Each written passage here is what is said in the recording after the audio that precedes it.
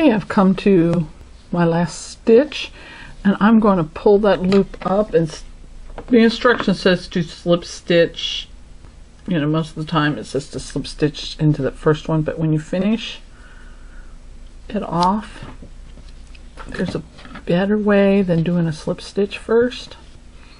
Is you cut it off leaving a loop that's a few inches long.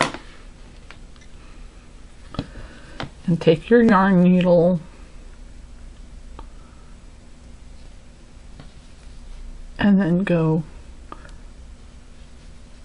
through that V of your first single crochet and then around and down through the top of the V of your last single crochet out the back. And then go underneath your stitches from your first couple single crochet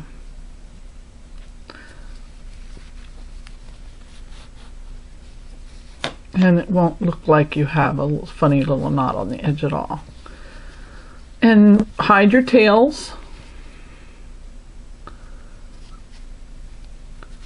I run them underneath a few stitches and then go in a different direction. So I'll go under like four or five stitches.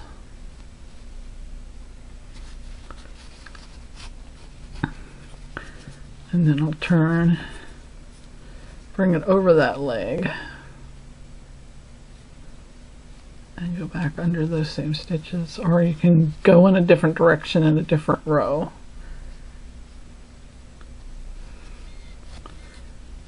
And that securely hides your tail. Snip it off. And hide your tail from the center just run it under your stitches a little bit in two directions.